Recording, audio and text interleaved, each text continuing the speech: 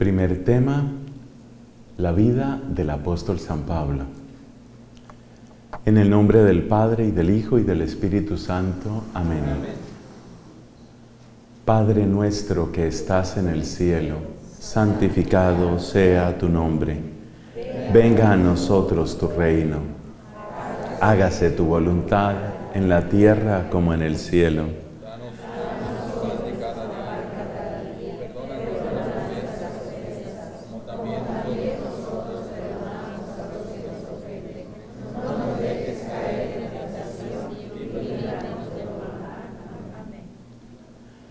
En el nombre del Padre y del Hijo y del Espíritu Santo. Amén. Siéntense, por favor.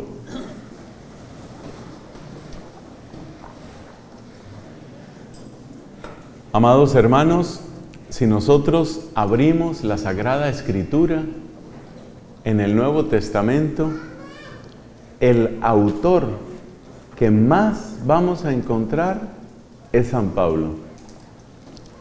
Las cartas de San Pablo ocupan una porción bastante grande del Nuevo Testamento. Es fácil para nosotros recordar algunos de los destinatarios de estas cartas, ¿no? A ver de quiénes nos acordamos. Romanos, ¿qué más? Corintios, Efesios, Colosenses, Gálatas. ¿Quién más? A ver. Ya Romanos hemos dicho. Hebreos, ese está un poquito más en discusión. Ya dijimos Gálatas, a ver. Hay unos que nos hacen falta. Él dirigió cartas también a personas. Timoteo, perfecto. Tito, perfecto. Tesalonicenses nos estaba haciendo falta. Sí, primera y segunda, correcto. Todavía nos faltan algunas cartas. A ver, ¿quién más? Ya están los Corintios. ¿Quién más? No, Santiago no, ese es otro apóstol, claro. Efesios ya lo han dicho varias veces. Uy, nos hacen falta. Timoteo, ya hemos dicho, claro. Santiago no, Santiago es una carta distinta que la hizo el apóstol Santiago.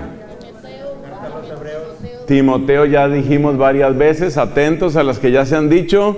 A ver, esta dinámica es ágil. ¿Quién más? Filemón, Filemón nos faltaba. Y hay una que no la han mencionado hasta ahora, hasta donde alcanzan mis oídos. ¿Quién será? No, Baruch es un libro del Antiguo Testamento. Bueno, hay gente que tiene un poquito de sentido del humor también. A ver, ¿quién más? Nos falta una, nos falta una. Una que nadie ha mencionado, ¿cómo va a ser? Colosenses ya la han mencionado, Efesios mencionaron, Gálatas, Corintios, Corintios, eh, Filemón, Tito, Timoteo, todo eso ya está nombrado, pero nos falta una. Y resulta que era una comunidad que era muy importante para él, una comunidad que él quería mucho. Romanos la, fue la primera que dijimos. Filipenses, por fin salió Filipenses. Filipenses, aquí no se había escuchado, me disculpan si ya la habían dicho. Entonces, hermanos, fíjate cuántos documentos, no todas las cartas tienen la misma extensión, eso hay que decirlo también. ¿Cuál es la más cortica de todas las cartas de San Pablo? A ver, ¿cuál es? ¿Cuál es? A ver, mire su Biblia, mire ahí, esté atento. Esto es despiertos, es moviéndose. ¿Cuál es la más cortica de todas?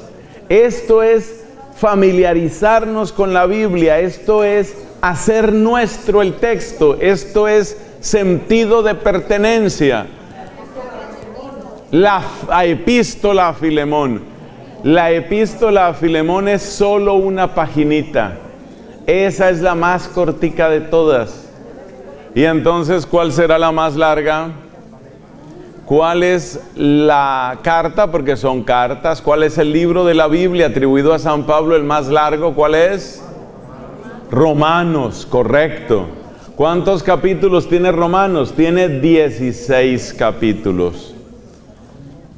Le voy a contar algo interesante. En el Nuevo Testamento, las cartas de San Pablo están dispuestas de mayor longitud a menor longitud. Es decir, que la carta a los romanos, que es la primera que aparece, después del libro de los Hechos de los Apóstoles, es la más larga.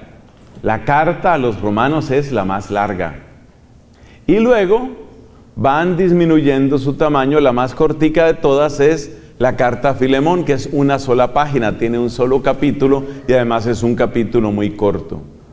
Eso quiere decir que las cartas de San Pablo en el Nuevo Testamento no están puestas en orden cronológico, como decir, esta fue la primera que escribió, esta fue la segunda que escribió, no señor, sino que están por orden de longitud de mayor a menor. Bueno, nos damos cuenta que son muchas cartas. Si pensamos en el Nuevo Testamento, nos damos cuenta que tenemos los cuatro evangelios, el libro de los Hechos de los Apóstoles, las cartas de San Pablo, que ya vemos que es una porción generosa del Nuevo Testamento. Luego hay otras cartas de otros apóstoles. De hecho, algunos de ustedes los mencionaban, ¿no? La carta de Santiago, la carta de Judas, por supuesto es Judas Tadeo, la carta de Santiago, la carta de Judas, ¿qué más? Las dos cartas de Pedro, ¿qué más? Las tres cartas de San Juan.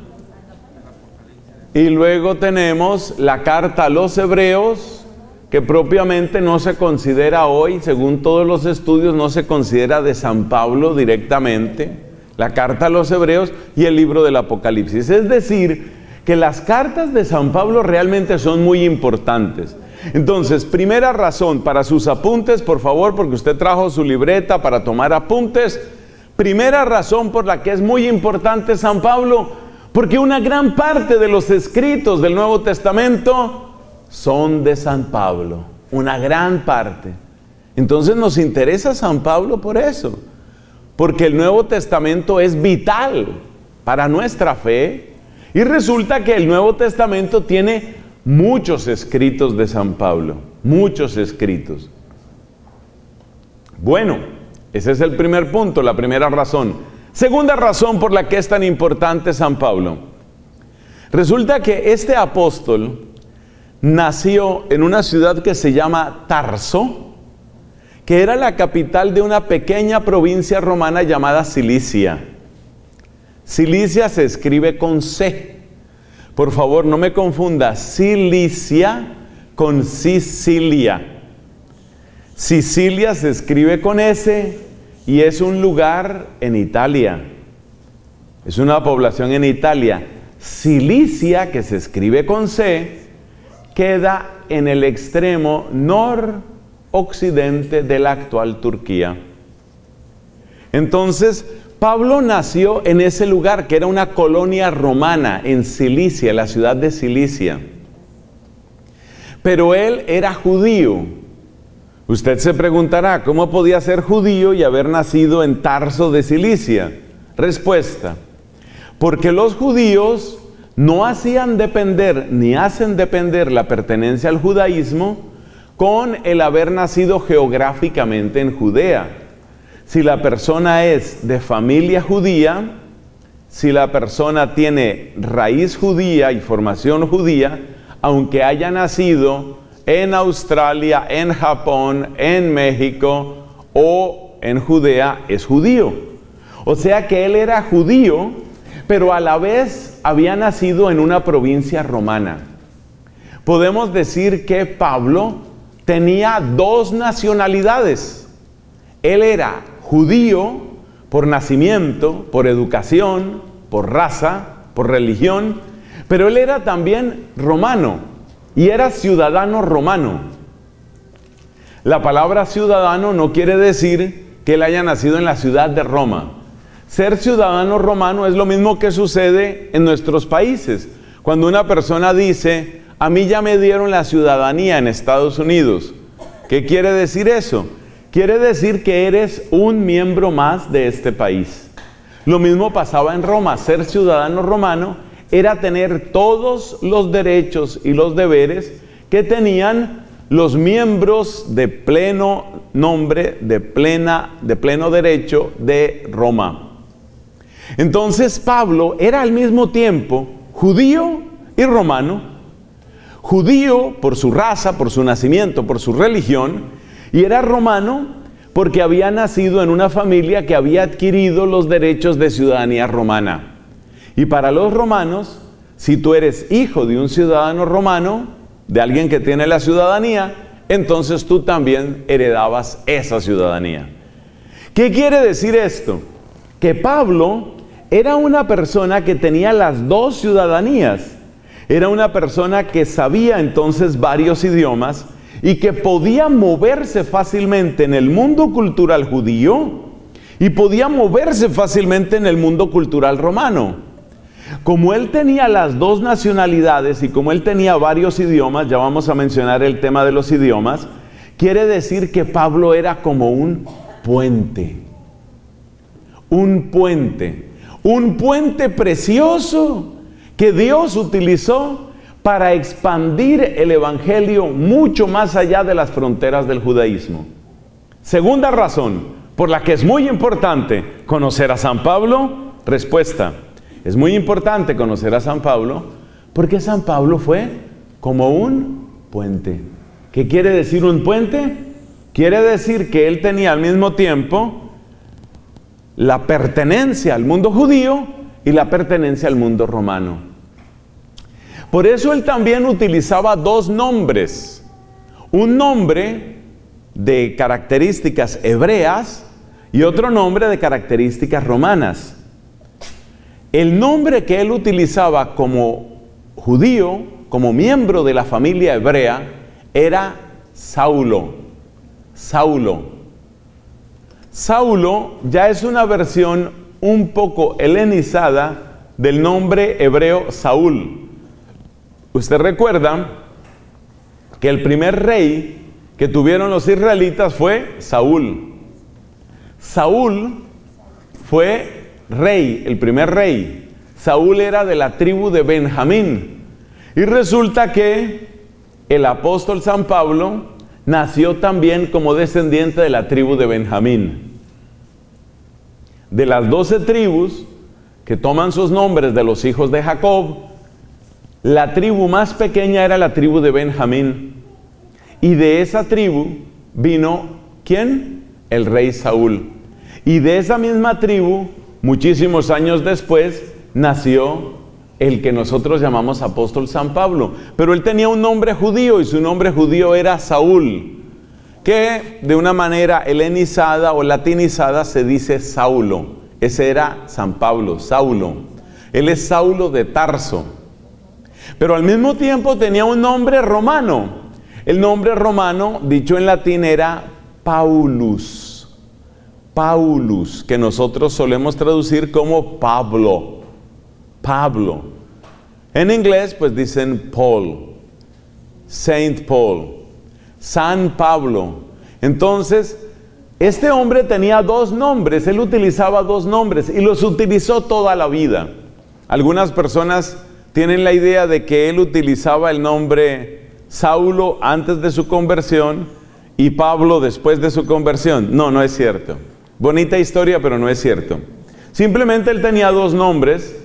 Un nombre que utilizaba más en el mundo judío, que era Saulo, porque hace referencia al rey Saúl. Y otro nombre que es muy propio del mundo romano, del mundo griego, que es el nombre de Pablo en latín Paulus. Entonces, ¿por qué es importante estudiar a San Pablo? Porque Pablo es un hombre puente. Porque Pablo tenía los dos mundos. Porque Pablo tenía el mundo judío, el mundo hebreo y tenía también el mundo romano. Y por eso realmente, como lo dice el texto de los Hechos de los Apóstoles capítulo 9, que lo vamos a ver más adelante, realmente Pablo fue un instrumento precioso de la providencia de Dios para llevar el Evangelio a quienes?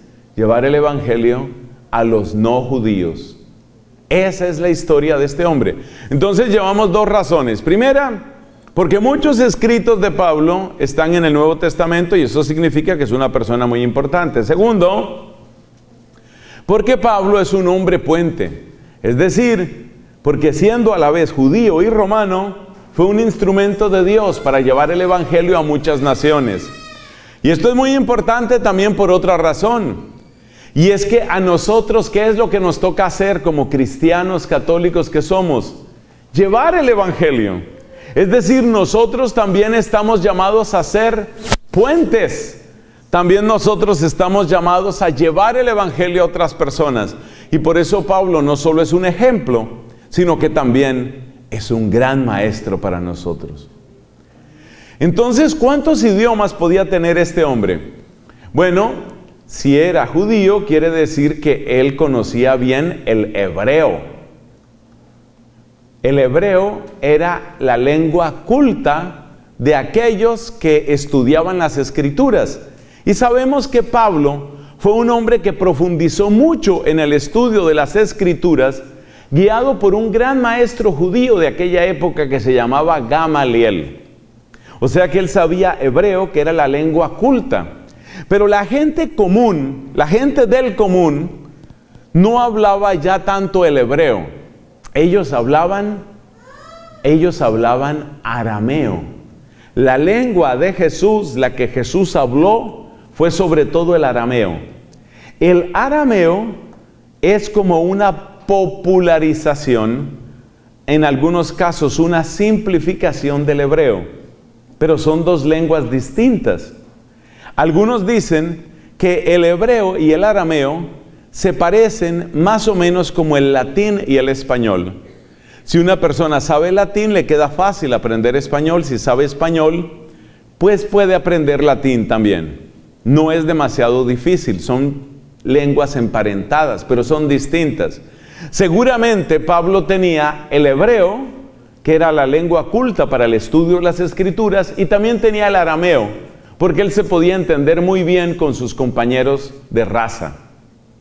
Entonces ya por lo pronto tenía esas dos lenguas. Pero además, si él era ciudadano romano, con seguridad él conocía el latín, que era la lengua de los romanos. Pero es que en el imperio romano, sobre todo en el Mediterráneo, el mar Mediterráneo, que es el lugar principal de extensión del imperio romano, lo que más se hablaba no era latín, lo que más se hablaba era una forma simplificada del griego. Se le llama griego koiné. Así que probablemente Pablo sabía bastante bien cuatro idiomas, latín, griego koiné, hebreo y arameo. Era pues una persona culta, una persona inteligente y una persona muy formada. Y toda esa capacidad para los idiomas sería nuevamente una herramienta poderosa en las manos de Dios para que Pablo pudiera extender el Evangelio. Cuando uno piensa en esto de hablar idiomas, seguramente pensamos en nuestra propia historia, porque pues nos encontramos en un país donde se habla principalmente otro idioma, que es el inglés. Y todos o casi todos nosotros pues hemos nacido en países donde se habla el español. Y nos damos cuenta la importancia que tienen los idiomas. Pero sabes una cosa, además del hecho de hablar un idioma o de poder escribir ese idioma, hay un sentido más profundo en esto. Aprender a manejar los idiomas también significa la capacidad de llegar a las otras personas en su propio idioma. ¿Me explico? Si nosotros queremos evangelizar a los niños, no basta con saber español o saber inglés. Por decirlo de alguna manera, hay que ponerse al nivel de ellos hay que saber hablar el modo de los niños. Si queremos llegar a los jóvenes, queremos también utilizar seguramente las expresiones, los medios de los jóvenes. Y en ese sentido, saber idiomas no es solamente saber francés, chino, japonés, inglés, español. Saber idiomas es saber adaptarnos para llegar a las otras personas. ¿Y sabes qué? Pablo de Tarso, San Pablo, es un gran maestro en saber adaptarnos en saber llegar a las otras personas. Por eso es un gran mensaje para nosotros, especialmente para quienes tenemos alguna responsabilidad en la iglesia, extendiendo el Evangelio. Debemos saber extendernos, debemos saber prolongar el mensaje de Jesucristo para tocar el mayor número de personas, saber hablar a las personas, porque si nosotros tenemos una riqueza, pues necesitamos también saber entregarla. Y ahí tenemos la tercera razón por la que es muy importante conocer a San Pablo. A ver, ¿cuáles son las tres razones que hemos dicho? La primera, porque muchos escritos del Nuevo Testamento son suyos. La segunda, porque es un instrumento de la providencia de Dios que sirvió como puente.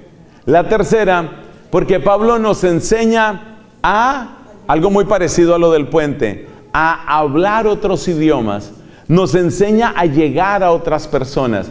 Y esto es muy importante, porque nosotros no podemos permitir que el Evangelio muera cuando nosotros muramos. Estoy hablando de una manera exagerada.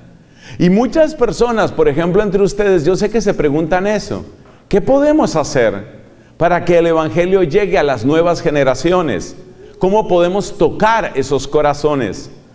O como decía el apóstol, un verdadero apóstol, San Juan Pablo II, nuestro Papa querido, ¿cómo podemos hablar en nuevos areópagos?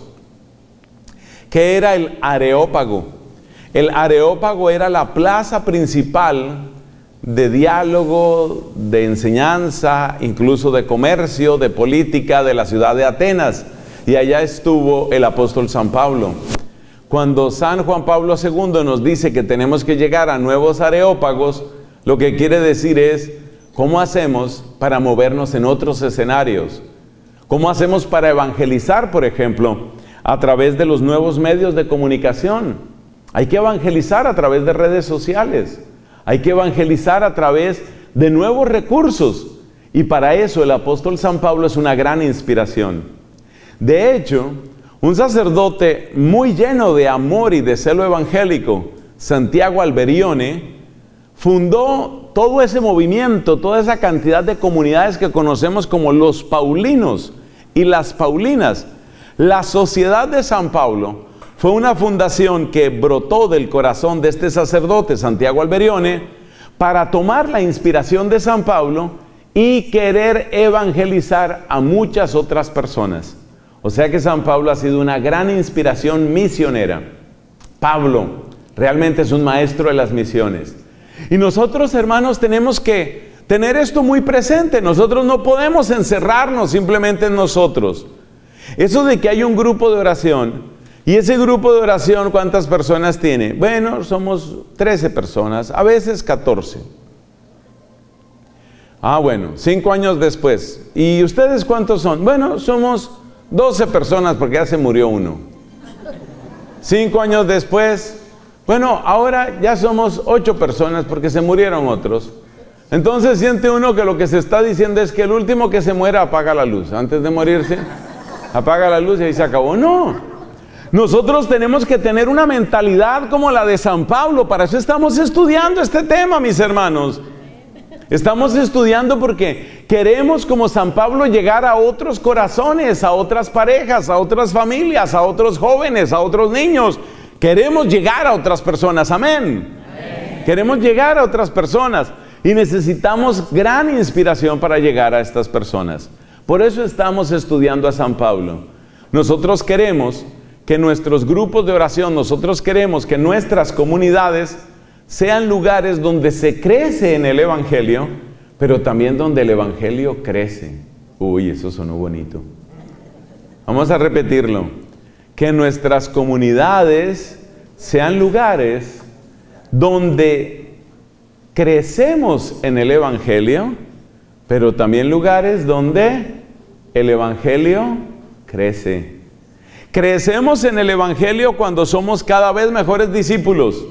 Y el Evangelio crece cuando la gloria de Dios se extiende a otras personas, a otros grupos. Es muy preocupante que algunos grupos no piensan en fundar otros grupos. Es muy preocupante que nuestros grupos se encierren únicamente en sí mismos, porque eso va en contra de la lógica preciosa del Evangelio. Bueno, ahí hemos terminado nuestra introducción. Ya sabemos por qué es tan importante estudiar a San Pablo.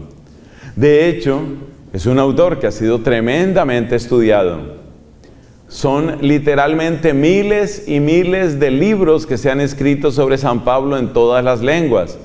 Porque desde el principio San Pablo ha sido un gran referente para la santidad y para la obra del Evangelio en nuestra Iglesia Católica.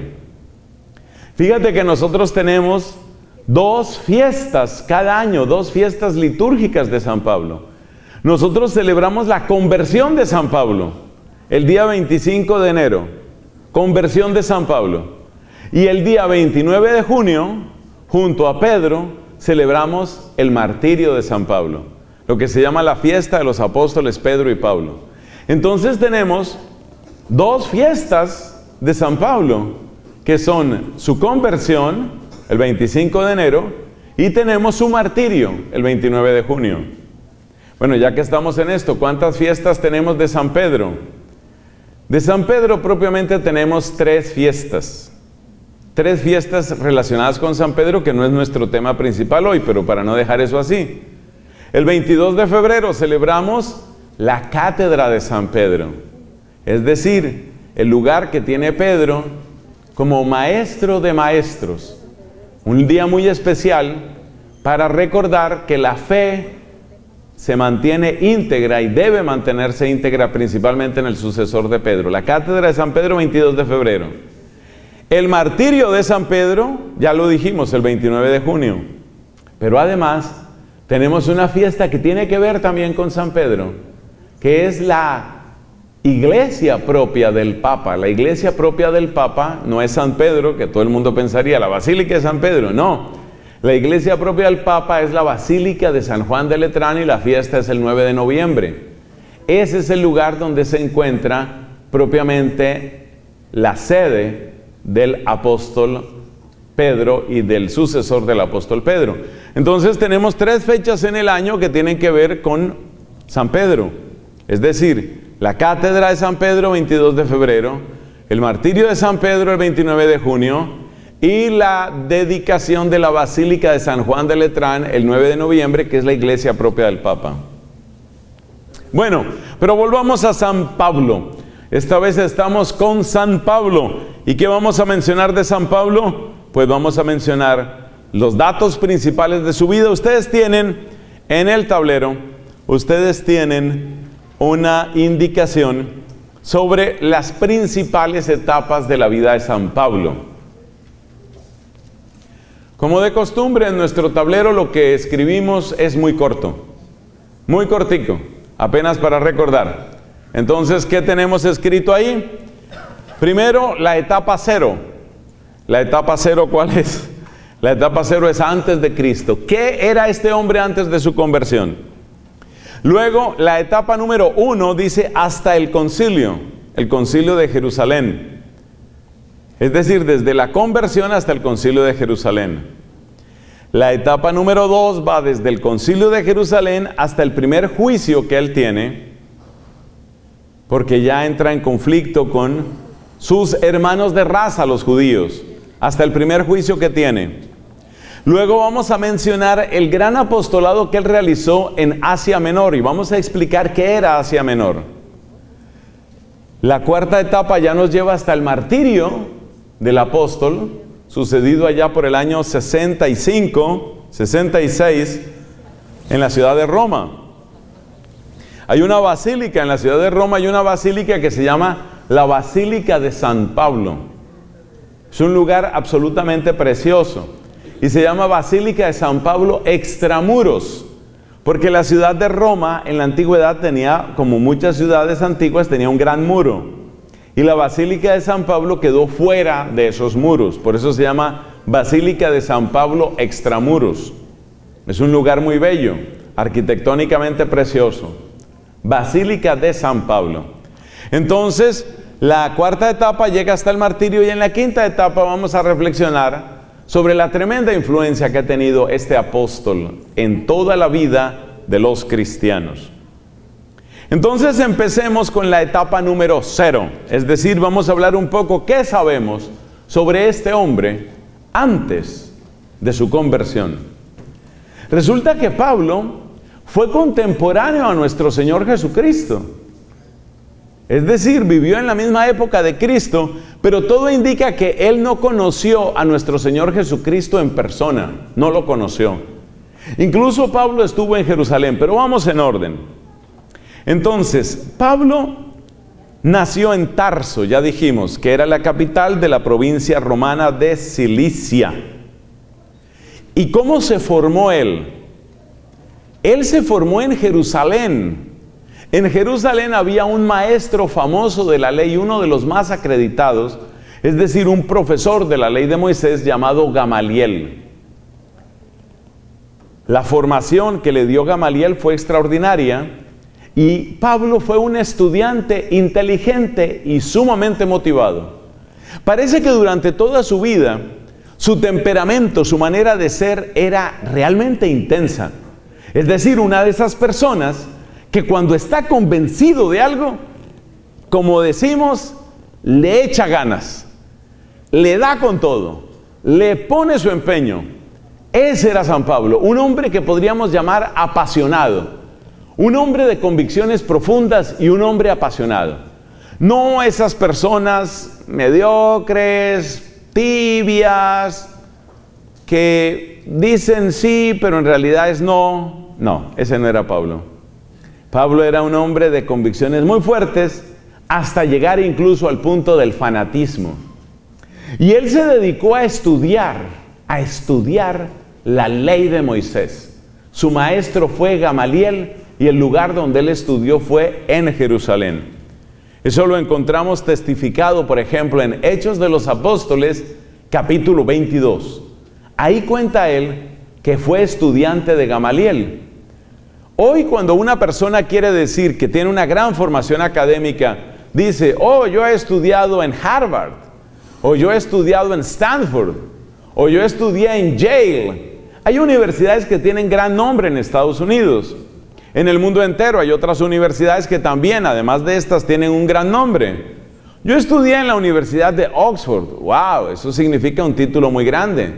Estudié en la Escuela de Negocios de Londres en la London School of Business. Eso es una cosa muy grande. Estudié en Cambridge, eso es grandísimo. Todos esos lugares tienen gran nombre. En la antigüedad, más que los lugares, para acreditar los estudios tú tenías que contar quién había sido tu maestro.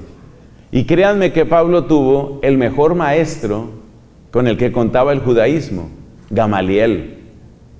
O sea que tenemos al estudiante más inteligente y más motivado con el profesor más, podríamos decir, más preparado y con mejor capacidad didáctica.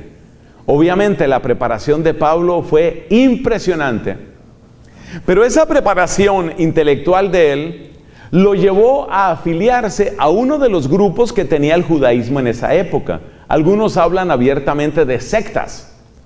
Pablo perteneció al grupo de los fariseos. Pablo se unió al fariseísmo. Para nosotros a veces la palabra fariseo es simplemente como un sinónimo de una persona hipócrita. Pero no. Los fariseos en la época eran personas que tenían una gran autoridad y una gran capacidad de influencia en el pueblo. ¿Quiénes eran los fariseos? Los fariseos eran hombres que tenían un gran conocimiento de la ley, algunos de los cuales sabían leer y escribir y otros no. Por consiguiente, los fariseos dependían de los maestros de la ley. Ah, entonces tenemos que explicar quiénes eran los maestros de la ley. Son aquellos que la Biblia llama los escribas. O sea que los fariseos y los escribas estaban siempre muy relacionados. Podemos decir que los fariseos eran los grandes discípulos del grupo de los escribas. Y los escribas eran aquellos que se dedicaban prácticamente toda la vida a estudiar la ley y a interpretar la ley. En una época en la que no todo el mundo sabía leer y escribir, el tener la capacidad de los escribas era algo realmente notable, era algo importante. Bueno, y los fariseos recibiendo enseñanza y en alianza con los escribas, ¿qué era lo que proponían? Los fariseos proponían un retorno radical a la práctica de la ley. Y para eso, por supuesto, había que conocer muy bien hasta el último detalle de la ley de Moisés y cómo se debe entender eso.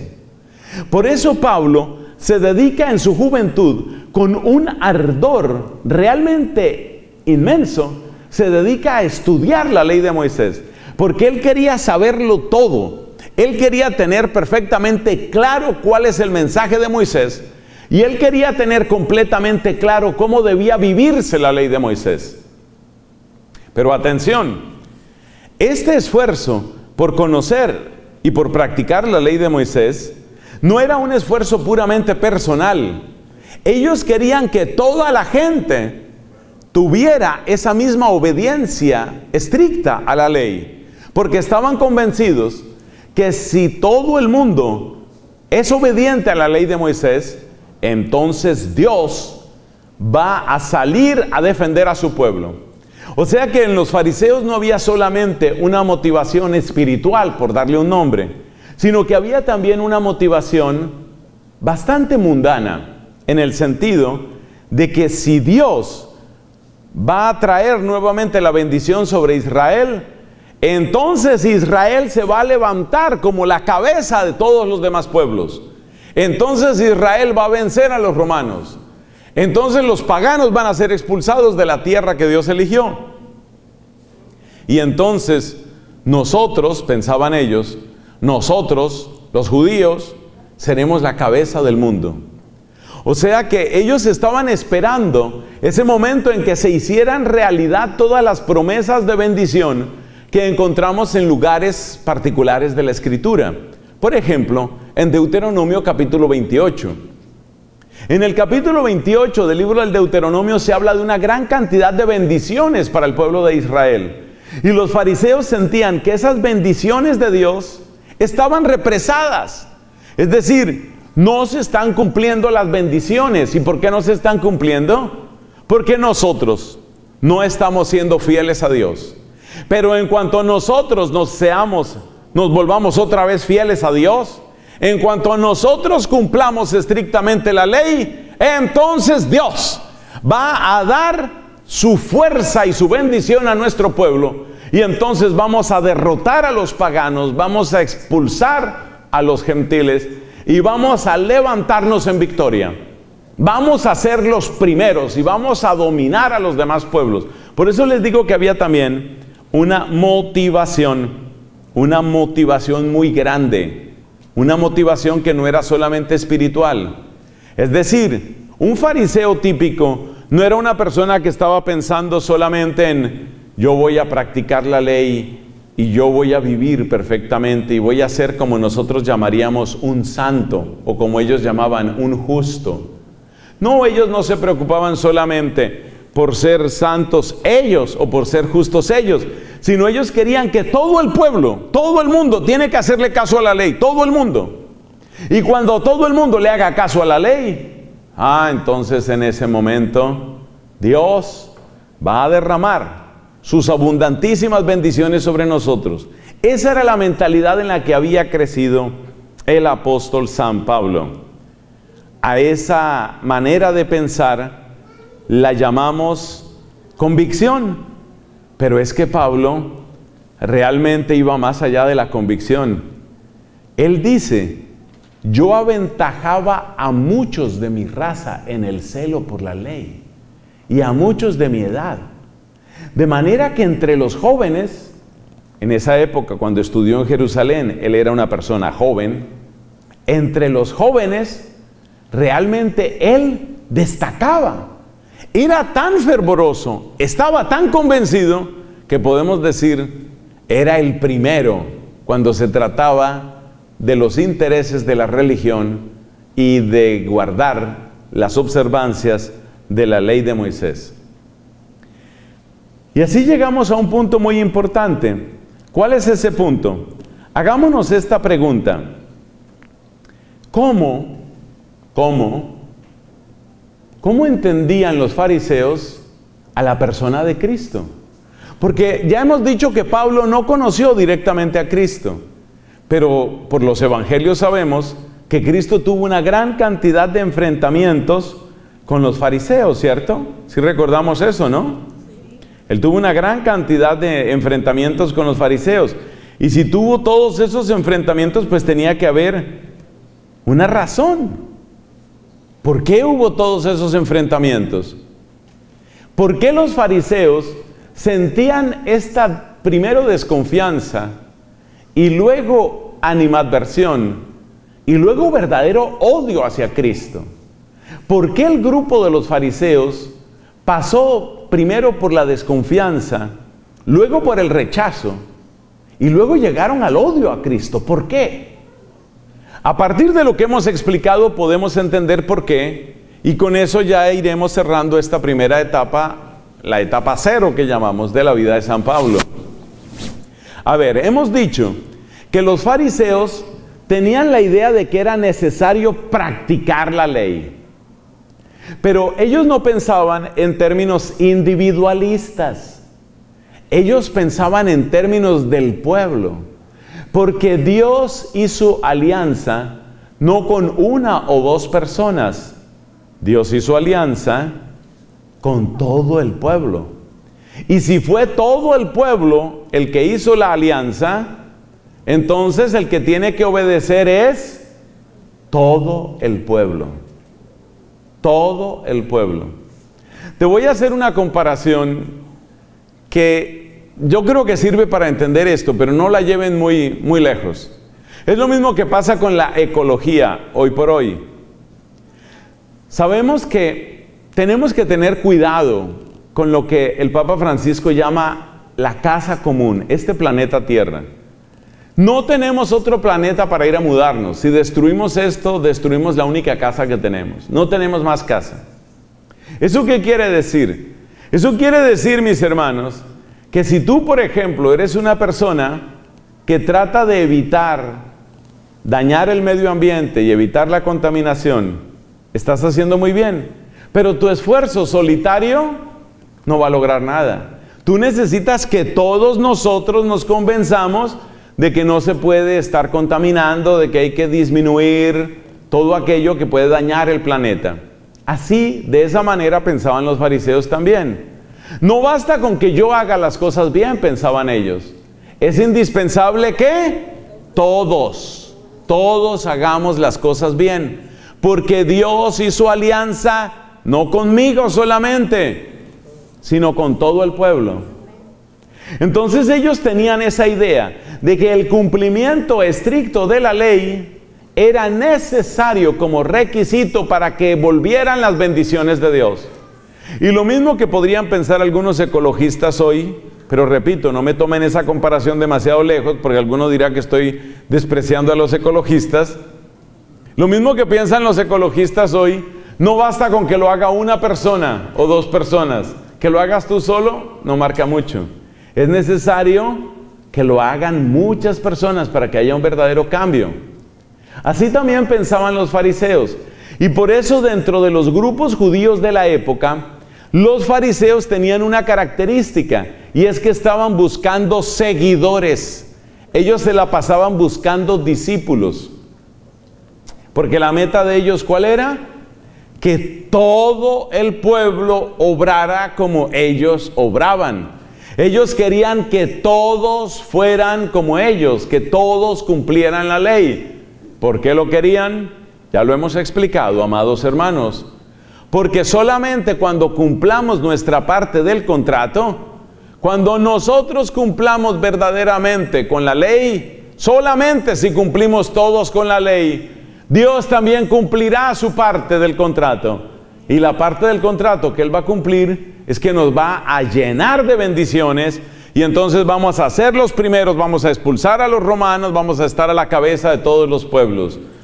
En las palabras del libro del Deuteronomio, ya no seremos más cola, por fin seremos cabeza.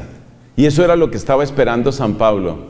Por eso, la idea del reino de Dios que tenía Pablo en aquella época, la idea que tenía del reino de Dios era una idea religiosa, pero también política y económica. Realmente lo que él estaba esperando no era solamente un triunfo religioso, como quien dice, por fin le damos la gloria a Dios. No, no, no. Ellos estaban esperando también un triunfo político. Vamos a vencer a los demás. Y un triunfo económico. Vamos a tener prosperidad. Y vamos a tener mucho dinero y vamos a tener muchas cosas.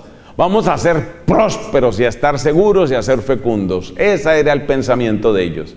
Pero el requisito cuál es? El requisito es que todo el pueblo tiene que hacer caso. Eso quiere decir que los fariseos gastaban mucho tiempo y muchas fuerzas. De esto les habla Cristo en el Evangelio. Cristo les dice a los fariseos, ustedes recorren mar y tierra para lograr un solo discípulo, un solo prosélito. Ustedes buscan con mucho esfuerzo conseguir sus discípulos. Prueba de que los fariseos tenían un celo que nosotros llamaríamos un celo misionero. Es decir, ellos querían realmente conseguir discípulos. Pero ¿qué pasa cuando llega Cristo? Cuando Cristo llega al escenario, ¿qué sucede? Eso no les gusta mucho a los fariseos. Porque resulta que ellos tenían demasiado trabajo que hacer para conseguir un solo discípulo. Y mientras tanto a Jesús le llegaban decenas, centenares, miles y miles de discípulos. Dice en algún lugar de la escritura, se juntaba tanta gente que ya empezaban a pisarse unos a otros. O sea que los fariseos entran en una situación de envidia, porque ellos se dan cuenta que la única manera de que las cosas mejoren es que todo el pueblo obedezca la ley. Pero para que todo el pueblo obedezca la ley, pues todos tenían que volverse discípulos de ellos. Tenían que seguir las ideas de ellos y las interpretaciones de la ley que ellos proponían. Eso era lo que ellos tenían que hacer.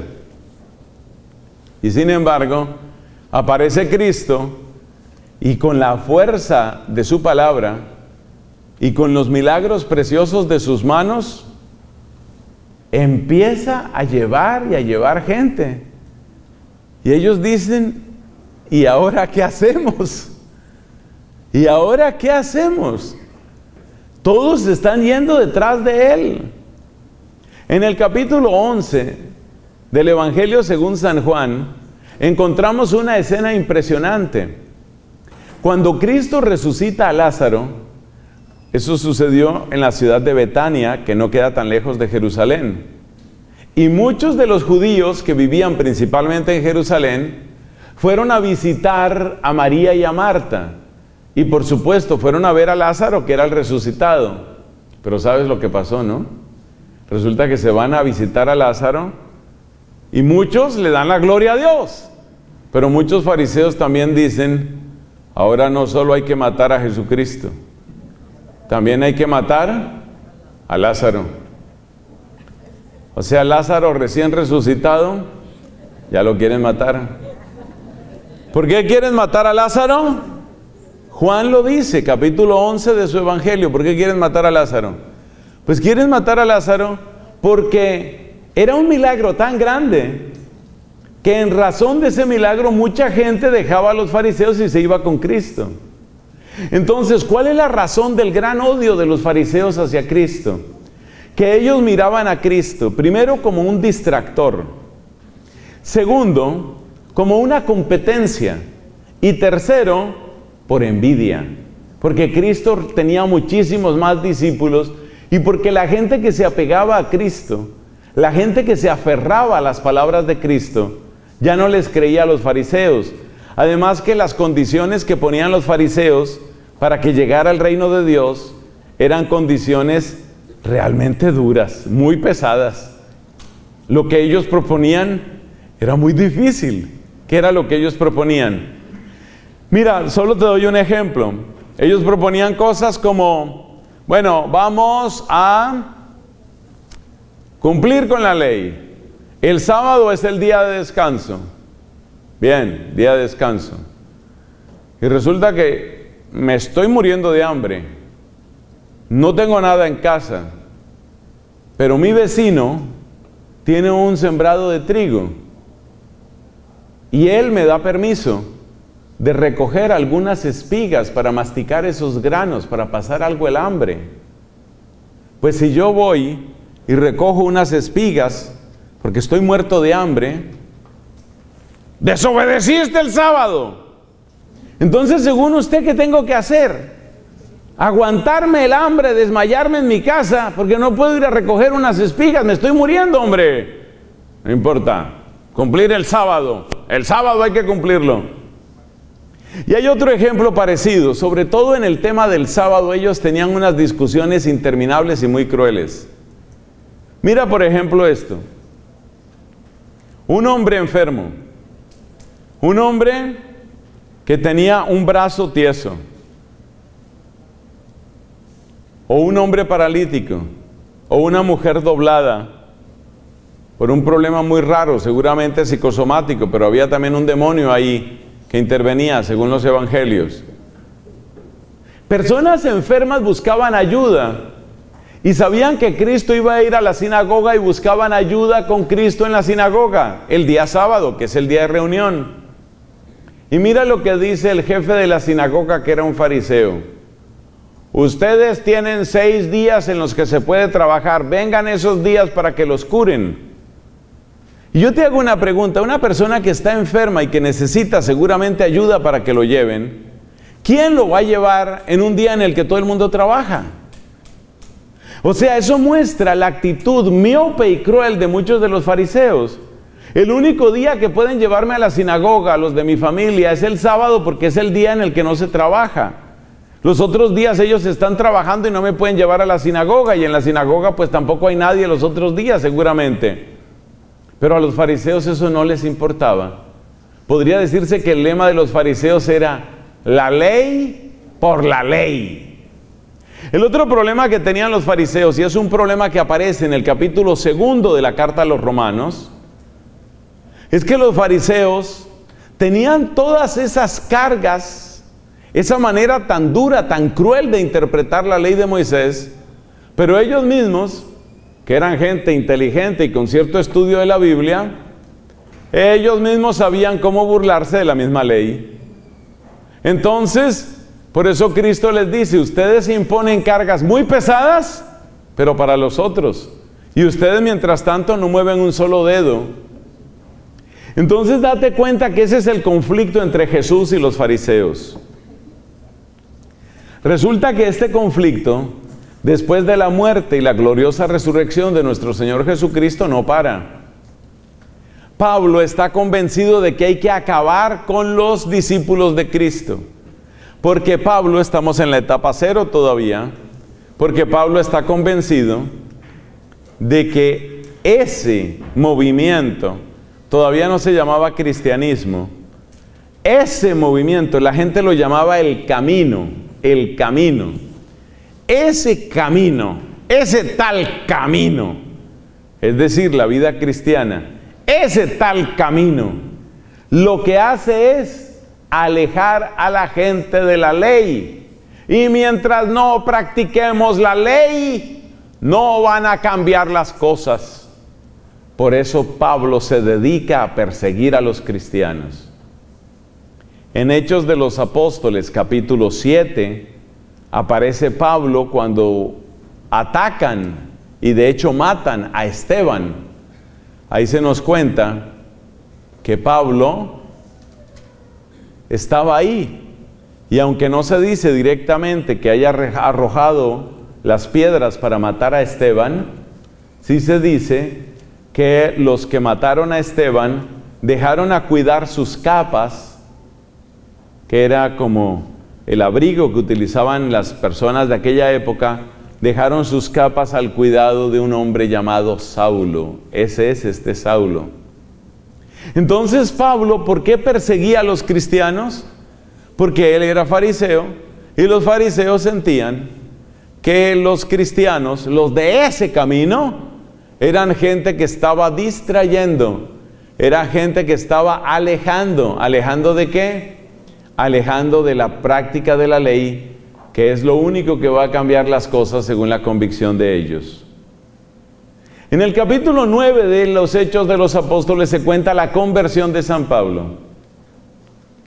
Es un hecho absolutamente glorioso, es algo tan importante, por supuesto, en primer lugar para él, pero después para todos nosotros, porque la manera como Dios realizó esa conversión es algo que nos impacta. ¿Cómo sucedió? Pues él iba para Damasco, en Damasco, la ciudad de Damasco queda en Siria, es la actual capital, ¿no? Él iba para Damasco y en Damasco había una comunidad cristiana, pequeña, pero ya había una comunidad cristiana. La idea que tenía Pablo era ir a Damasco y empezar a recoger, hacer una operación cuchara, ir recogiendo a los cristianos para que no se me escape ninguno. Desde Damasco voy recogiendo, recogiendo hasta Jerusalén ahí voy a meter a la prisión y voy a ejecutar a los cristianos, hombres o mujeres, ahí no importa. Voy a recoger a todos ellos y vamos a acabar con este problema de una vez. La mentalidad de Pablo es, vamos a acabar con este problema. Como el que mata un mosquito, como el que extermina una plaga. Esa plaga hay que acabarla. Y cuando él va camino de Damasco, con las autorizaciones religiosas del caso, algo grandioso sucede, algo muy importante. ¿Qué es lo que sucede? Se describe dos, tres veces en la escritura. Una luz fulgurante que deja ciego a Pablo durante varios días. Una luz intensa. Él cae a tierra.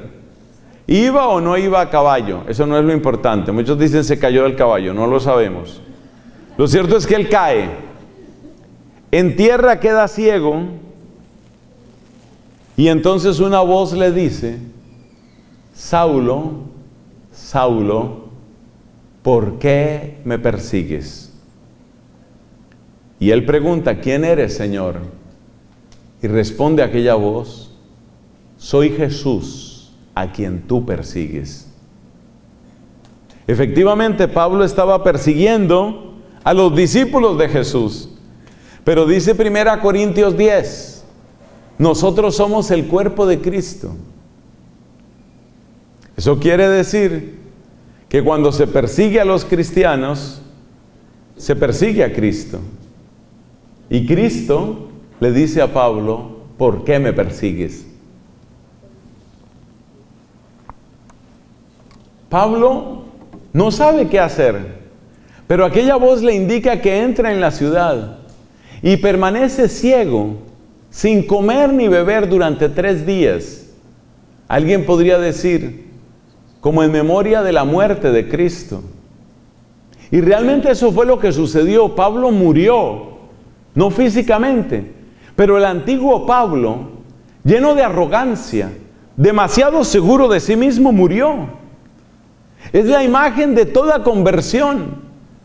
Tiene que morir algo en mí. Tiene que acabárselo en mí lo que le está haciendo la guerra a Dios. Uy, esa frase, escriba la que le conviene. Conversión es que muera en mí lo que le está haciendo guerra a Dios. Se muere, se muere lo que le hace la guerra a Dios. Pablo murió. Pero además, él como fariseo, y además fariseo sumamente instruido, tremendamente educado, él se consideraba luz. Él mismo lo, lo, dice en Romanos capítulo 2.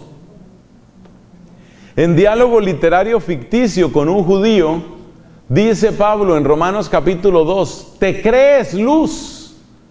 ¿Por qué Pablo le habla así a los judíos? Porque él mismo, viviendo como fariseo, él se creía luz, que era lo que iba a guiar al pueblo a la verdadera liberación. Te crees luz. Pablo se creía luz. Y el que se creía luz quedó ciego. Fíjate la conversión. El que se creía luz quedó ciego. Muchas veces Dios, cuando obra la conversión en nosotros, hace eso, mis hermanos. Fíjate cómo Pedro, que era jefe de pescadores, tuvo una noche de fracaso, ¿te acuerdas? Una noche en la que no agarró ni un pescado. Fracasó. El jefe de pescadores, el experto en pesca, fracasó. Pero luego con Jesús en la barca llegó la más maravillosa pesca de toda su vida. Y Pedro en aquel momento se postró ante Jesús y le dijo, apártate de mí que soy un pecador. Y Jesús le respondió, no tengas miedo, desde hoy serás pescador de hombres. O sea, el experto pescador que no logra ni un pescado.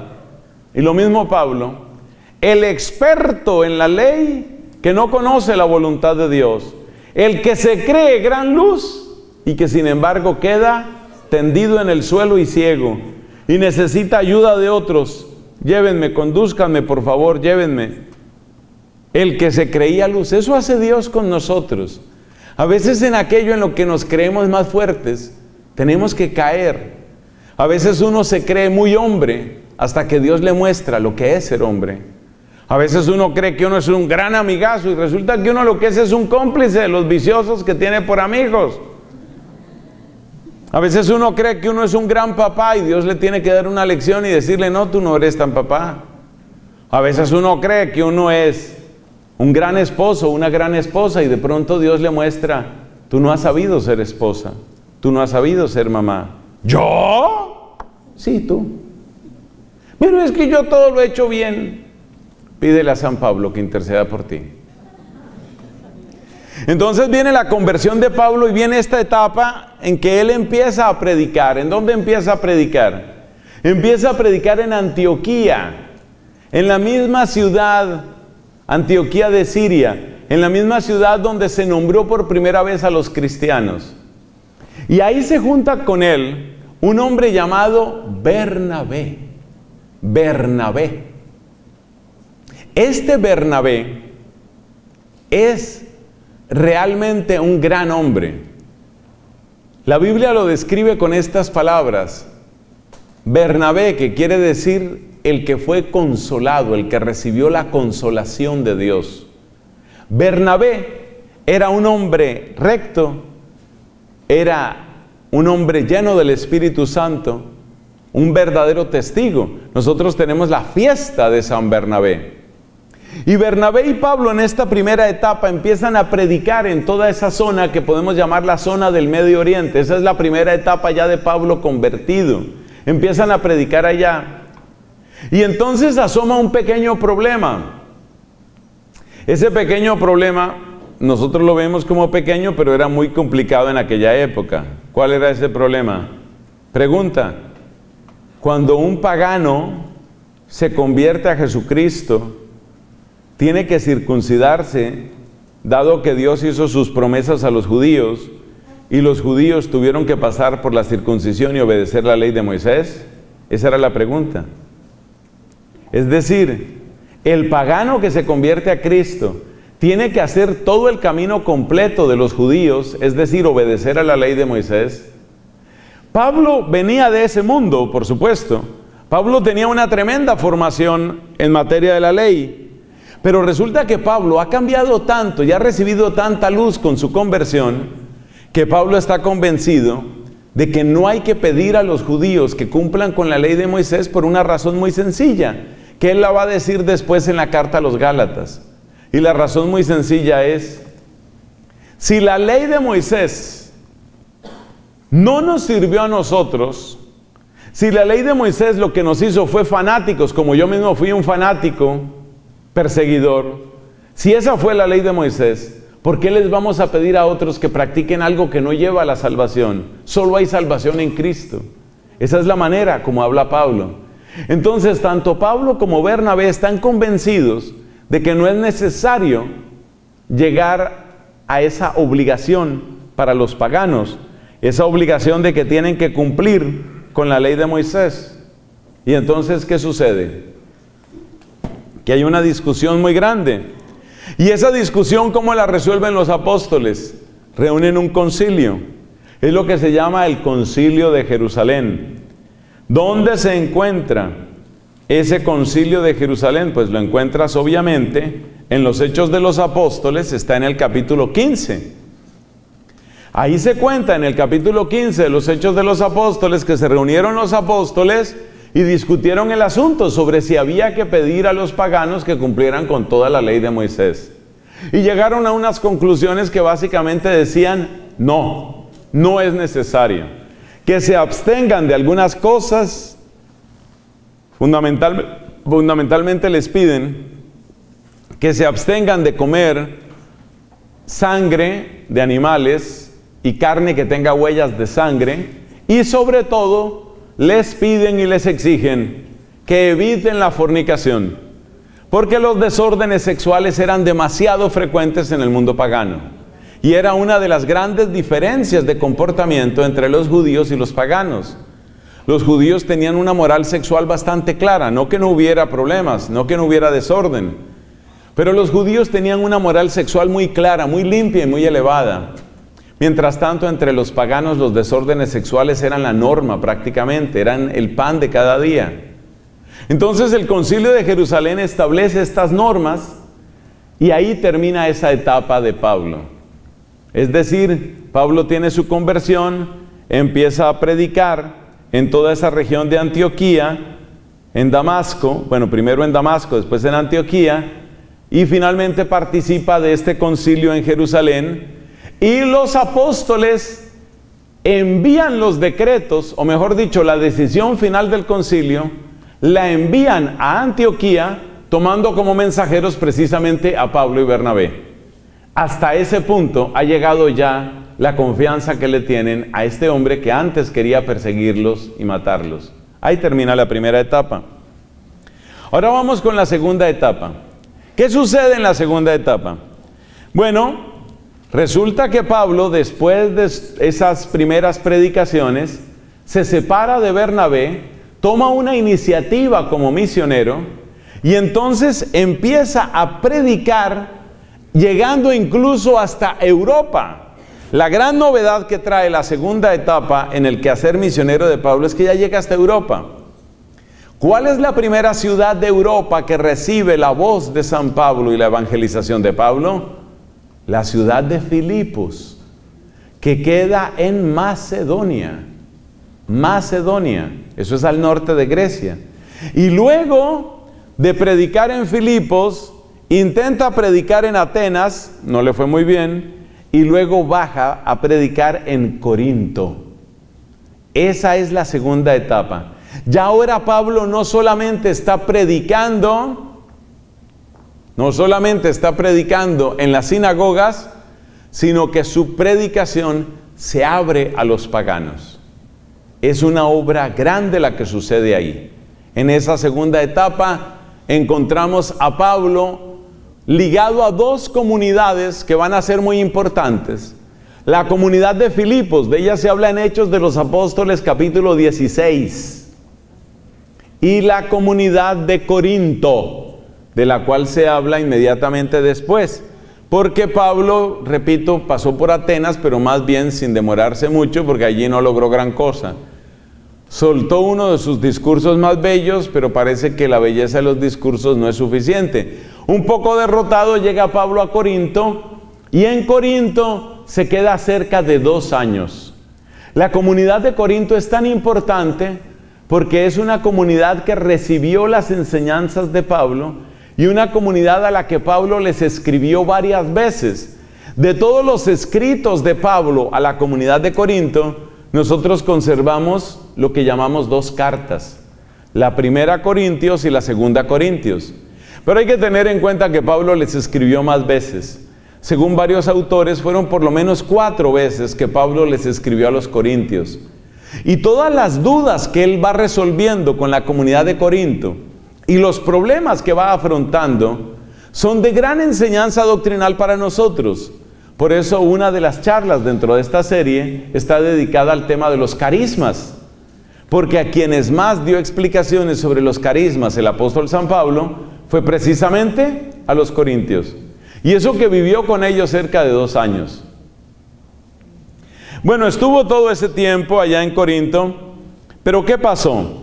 Que cada vez se va poniendo más tensa la situación con los judíos, porque los judíos sentían lo, hacia Pablo lo mismo que el mismo Pablo había sentido hacia los cristianos. Es decir, sentían que era un estorbo, sentían que estaba creando división, que estaba engañando y que estaba llevándose a la gente.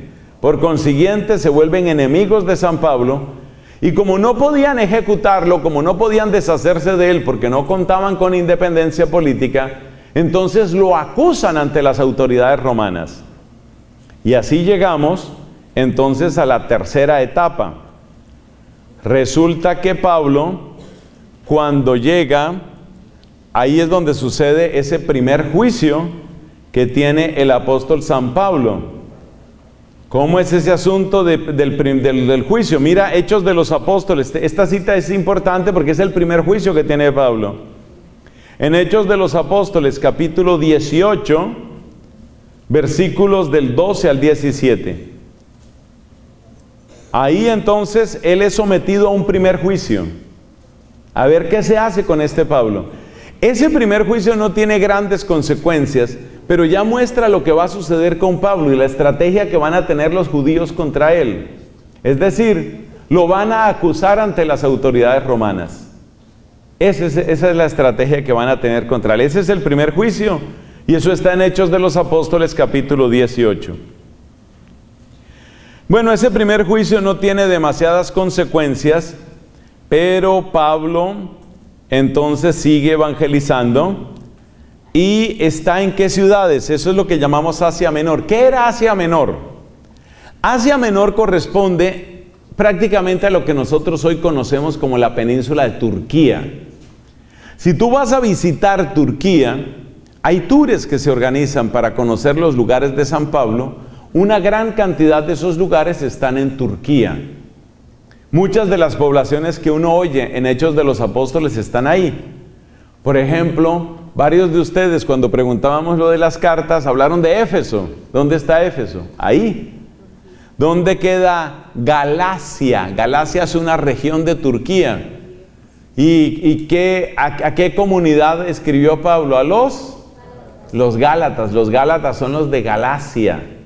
Galacia. Entonces, son comunidades que están ahí. Pablo está predicando allá en Asia Menor.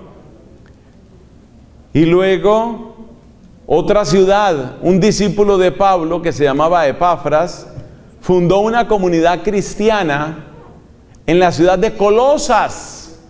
Ahí está la carta a qué? La carta a los colosenses, por supuesto.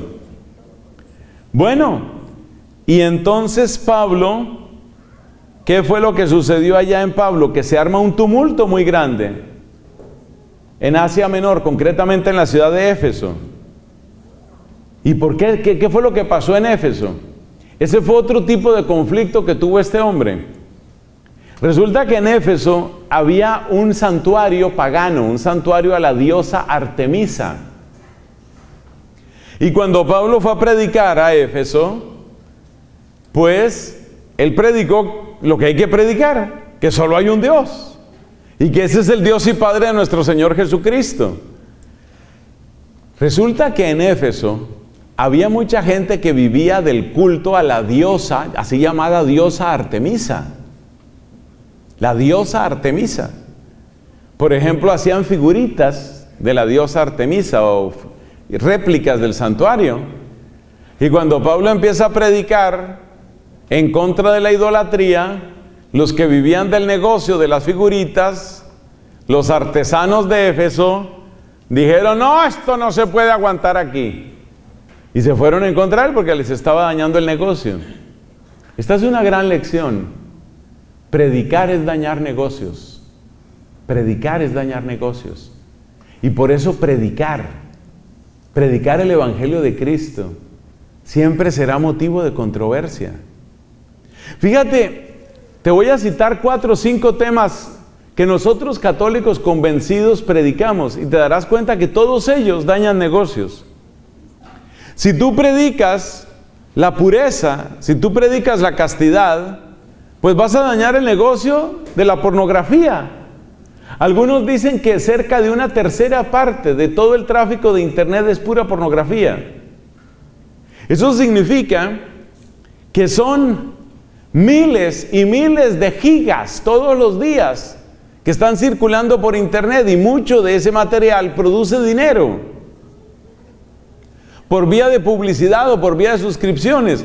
Entonces, si tú predicas la dignidad del cuerpo humano y si tú predicas la belleza de la castidad, le estás dañando el negocio al de la pornografía. Si tú predicas a favor de la sobriedad, estás dañándole el negocio al que vive del alcoholismo, al que vive de la droga. Cada vez se vende más de eso. La famosa marihuana recreativa, qué plaga tan terrible. En este viaje, tal vez les hayan contado, yo tuve que hacer una pequeña desviación porque no se pudo aterrizar en la ciudad de Houston. Me llevaron a una población pequeña, el avión tuvo que aterrizar en otro lugar, McAllen se llama, en Texas. Allá tuve que aterrizar. No es una población muy grande. Ahí tiene su tienda vendiendo CBD. Todos estos productos que tienen ingredientes de la marihuana, cannabidiolo, una cosa así se llama. Ahí lo están vendiendo. Entonces te das cuenta, esos son los negocios. Bueno, yo no niego que pueda haber cosas buenas que se puedan sacar de esas plantas, pero evidentemente lo que se está vendiendo ahí no es una medicina. Entonces el famoso uso recreativo de la marihuana. Si tú empiezas a predicar con éxito, especialmente en el pueblo o en el público joven, entonces la gente va a dejar de consumir marihuana recreativa y adivina cuántos negocios estás dañando. Predicar es dañar negocios. Y esto es muy importante tenerlo en cuenta, pero para que no nos hagamos ilusiones. Tú sabes que el negocio de las denuncias, incluyendo las denuncias a sacerdotes, es un negocio que mueve millones y millones de dólares. Mira, hace 10 años yo fui a una misión a California. En aquella ocasión me hospedaron en un hotel. Me pongo a mirar un poco de la televisión. Ahora ya no miro realmente nada de televisión porque me satura tanta propaganda y propaganda y publicidad, es, es, enloquecedor. Pero bueno, precisamente salió una propaganda. ¿Sabe lo que decía la propaganda? Decía, si usted cree que algún sacerdote ha molestado a su hijo, a su hija, o usted tiene recuerdo de algo parecido, póngase en contacto con nosotros, una firma de abogados. Es decir, invitando a la gente a que ataque. ¿Y sabes por qué? Porque en todo proceso jurídico, el único que jamás pierde es el abogado. Alguien le tendrá que pagar al abogado. Entonces, o gana el que denunció o gana el denunciado, eso no importa, pero el abogado siempre gana. Entonces es un negocio y el negocio de las denuncias es un negocio que produce muchísimo dinero, muchísimo dinero. Tristemente, tenemos que reconocer en público que hay acusaciones que son ciertas. Y como siempre lo decimos, es una vergüenza de la Iglesia Católica. Que hubiera sucedido un solo caso ya es una vergüenza. Lamentablemente son muchos casos. Pero lo que quiero destacar aquí es que ese es un negocio. Lo de las denuncias también es un negocio. Así las denuncias al final resulten falsas. Entonces predicar siempre es dañar negocios y Pablo estaba dañando un negocio en Éfeso y se armó una revuelta, se armó un problema gravísimo. Y entonces, ¿qué pasa? Pues que lo encarcelaron